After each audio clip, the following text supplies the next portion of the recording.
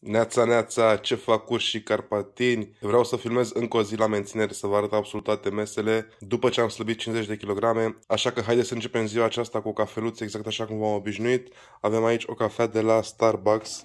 Mi-am făcut de data asta o cafea de la Starbucks, americano se numește. Este o cafea lungă. Haideți să punem niște miere. După cum puteți vedea, mierea asta s-a terminat, borcanul ăsta de miere s-a terminat. Bine, nu l-am terminat singur, au mai venit oameni pe la mine, am mai servit cu câte o cafeluță, dar uh, vreau să vă spun că se duce, se consumă pentru că este foarte bună mierea asta de rapiță în cafea, pentru că nu schimbă gustul cafelei, da? Nu o să mă vedeți niciodată că o să-mi pun miere de salcâm sau polifloră în cafea, pentru că acele tipuri de miere sunt uh, parfumate și schimbă gustul cafelei Mie îmi place să simt aroma asta de cafea. Ok, haideți să pregătim cafeluța, să o savurăm și apoi să coborâm, să pregătim ceva foarte simplu de făcut pentru micul dejun, pentru că s-a dormit, este dimineață, am reușit să mă trezesc dimineață și astăzi. Să vedem ce treburi mai avem, ce colete mai avem de făcut, de dus prin oraș și apoi să mergem și la sală să ne antrenăm un pic. Ok, urșilor, am coborât, mi-am făcut micul dejun, haideți să vă arăt uh, în ce constă micul meu dejun. Este ceva foarte simplu, după cum vă spuneam. Avem aici două feliuțe de pâine prăjită, am pus niște brânză, din asta de la un vecin foarte bună, brânză naturală, da?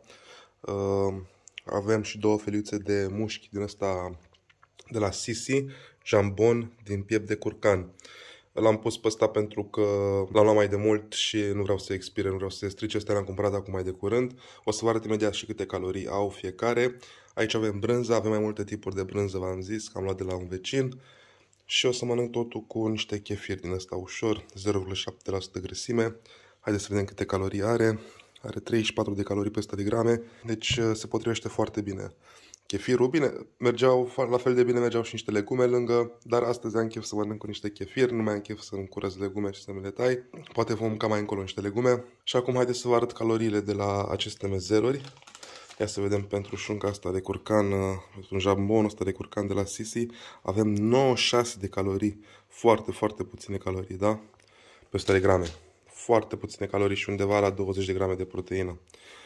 Mușchiul ăsta file are 100 de calorii, la fel foarte puțin, ăsta e muș de porc file și la 100 de calorii pe 100 de grame este super, super puțin. Muș țigănesc, ia să vedem, ăsta ar trebui să aibă mai mult. Mușchiul țigănesc de la Matache Măcelaru, câte calorii are, hai să vedem dacă se vede, 137,9 calorii pe 100 de grame. Vedeți, ăsta are un pic mai mult. Avem două din astea de mușchi uh, țigănesc și mușchiul file. Asta ar trebui să aibă mai puțin. Chiar dacă este tot de porc, fiind file, fiind mușchi, ar trebui să aibă mai puține calorii. Da, are 102 calorii. Deci, vedeți, toate aceste mezeluri au foarte puține calorii. Bineînțeles, putem să mâncăm și ceafă de porc și alte chestii, dar ele au mult mai multe calorii. Mie îmi place să mănânc uh, astfel de mezeluri cât mai slabe în grăsimi dimineața, pentru că se mănâncă foarte ușor, îți faci repede două feluțe de pâine, sau trei sau patru, câte vrei tu să-ți faci, cu un iaurt sau cu niște legume lângă și ai o masă foarte rapidă și foarte gustoasă. Bineînțeles și niște brânză sau niște cașcaval, îți pui acolo o feliuță subțire de cașcaval, pentru că, na, astea mai multe calorii, prânzeturile, și obții o masă foarte rapidă și foarte bogată în proteină, cu un conținut scăzut de grăsimi. Să vă arăt ce îi place lui taică De exemplu, îi place salamul ăsta, dar vedeți cât de multe grăsimi are. Nici nu vreau să mai citesc pe etichetă, să văd numărul de grăsimi. Salamul din ăsta de Sibiu. Și credeți-mă, e foarte, foarte gras. Tot așa găsit tata o șuncă la cineva în piață foarte bună, haideți să vă arăt cum arată. Am făcut niște TikTok-uri cu ea. Am mâncat, v-am zis, pentru că este foarte bună. Ia uitați cum arată șunca asta. Cu carne afumată, fiartă în usturoi, așa. Super bună șunca asta, dar la fel, foarte multe calorii. Mai mănânc și eu când am poftă, da, puțin. Ne pregătim să plecăm la Vâlcea Urșilor pentru că avem o comandă de dus la un client de-ai mei. O să mergem să o livrăm personal. Vreau să o ambalez aici în uh, punga asta, dar până atunci haideți să vă prezint puțin produsele acestea. A vrut, uh, domnul acesta a vrut numai siropuri. Avem aici trei siropuri de muguri de pin macerați în miere. Da? Deci practic aici este doar miere. Miere care a fost uh, amestecată cu muguri de pin și a fost lăsată la macerat.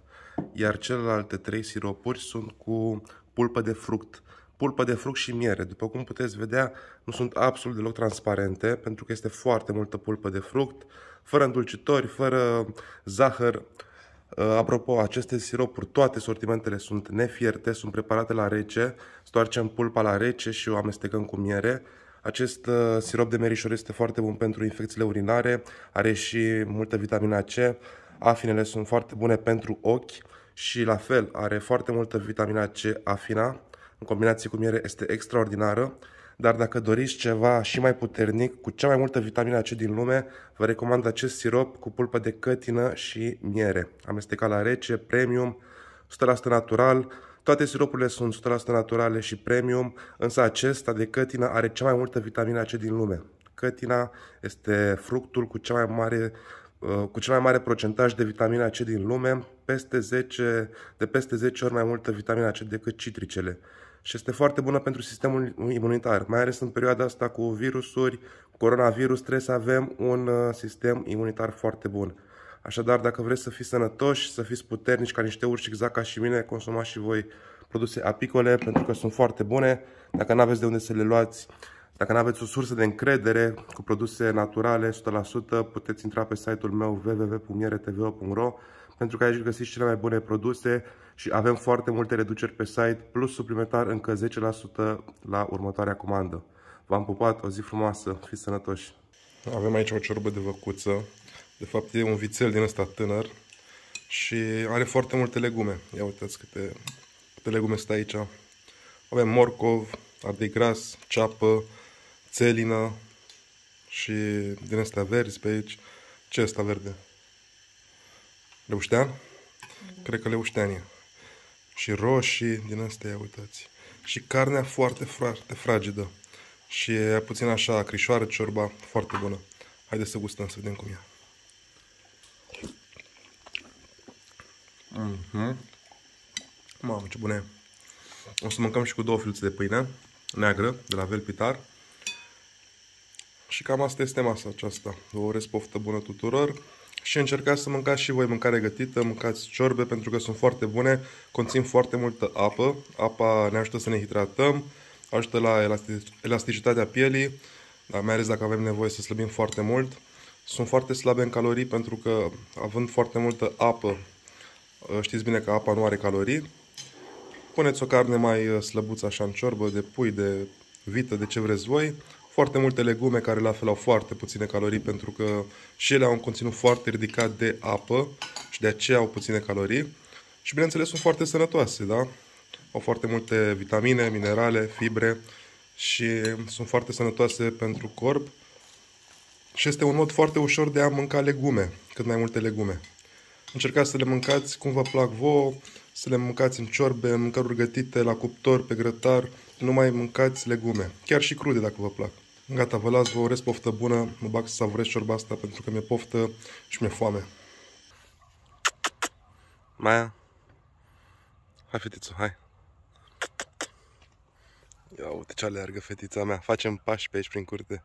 Hai, hai să mai facem niște cardio, hai că e frumos.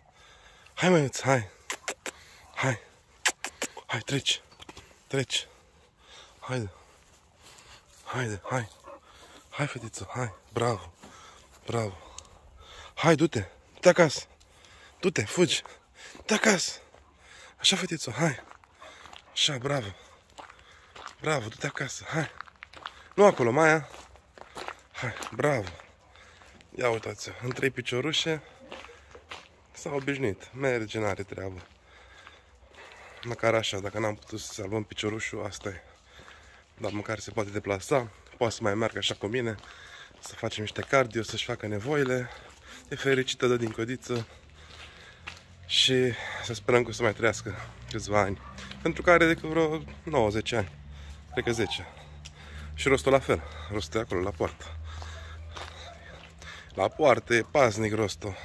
A nebunit de tot la mic. Numai acolo stă. Să miroasă el. Să vadă el ce trece, să latre la oameni, la animale. Rosto. Rosto. Rosto. Rosto. Ha bă, nu vii cu mine să mai facem cardio? Hai! Haide! Ia uite-l! Hai, piticule! Treci! Treci! Hai! Ia uite-l ce sare! Hai, sare aici! Bravo! Bravo! Ia uite-l! Hai! Bravo! Hai! Bravo! Bravo! Sari! Sari! bravo, bravo, bravo! Bravo! Fetița mea a obosit. O lăsăm aici să se relaxeze. Hai, Rostu, hai cu mine. Ce faci, mă? Vrei să te mângâi? Măieț?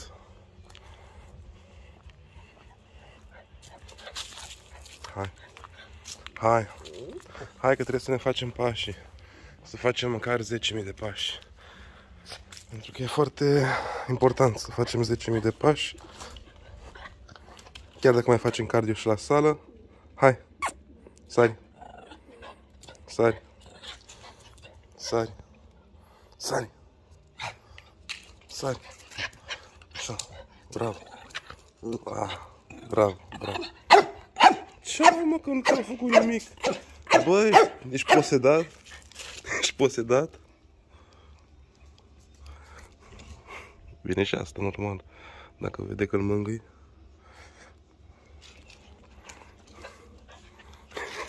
Ce ai, bă, ești posedat?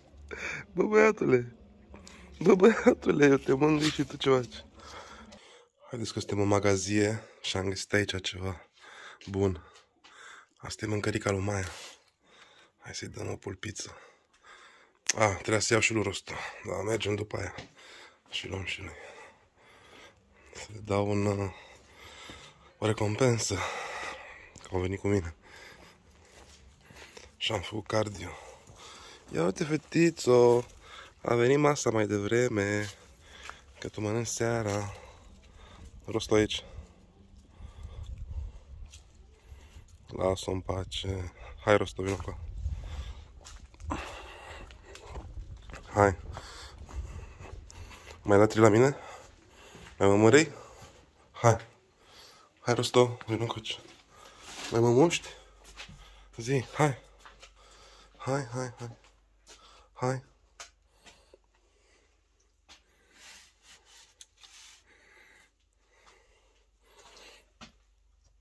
Hai, vale. O primit și el.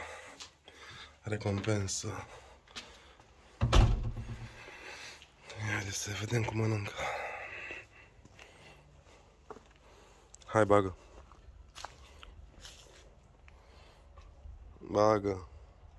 Carniță de pui la cuptor frumos, pulpiță. Dietă din asta sănătoasă.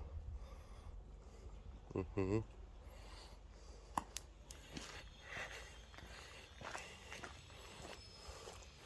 Place fetița mea, a terminat-o. Place fetița mea.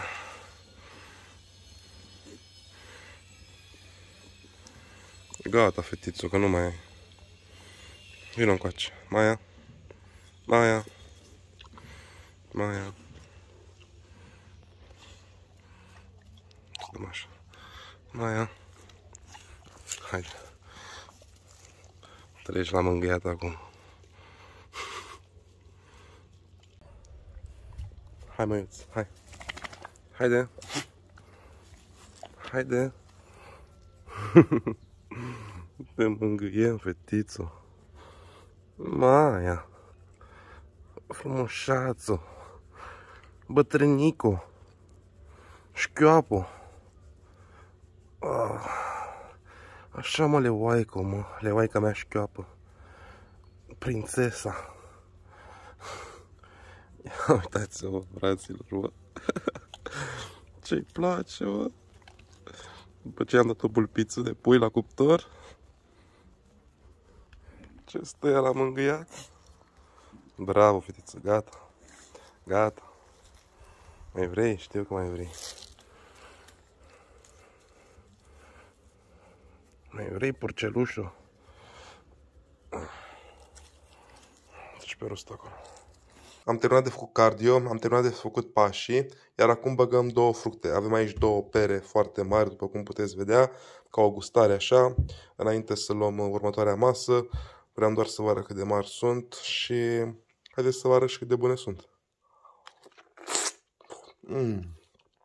Doamne, ce moale Foarte moale, foarte parfumată și foarte suculentă. Și au foarte puține calorii perele. Perele, la fel ca și merele, au undeva la 45-50 de calorii pe 100 de grame. Ceea ce înseamnă că au foarte puține calorii. Sunt niște alimente foarte slabe în calorii și putem mânca cantități mari, da? Mm. O să-mi savurez perele astea. O să fac o baie, un duș. Și apoi de seară ne pregătim pentru următoarea masă, să vedem ce mai mâncăm, ce mai pregătit șeful bucătar.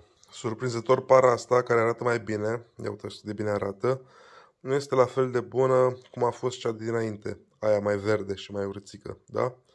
Uitați ce culoare are para asta, pare super apetisantă, însă e mai stearpă așa, nu știu, nu e la fel de parfumată, nu e la fel de dulce, nu e la fel de moale, nu e la fel de zemoasă, precum era aceea verde. Așa că nu toate fructele, să știți, care arată bine, înseamnă că sunt și mai gustoase, da? De multe ori, uh, cele care nu arată atât de bine, sunt mult mai gustoase. Ce faci, mă, măiuțule, mă? Ce faci, mă, purcelușă, mă? Hm? Iată ce fericită ești. Dai din codiță.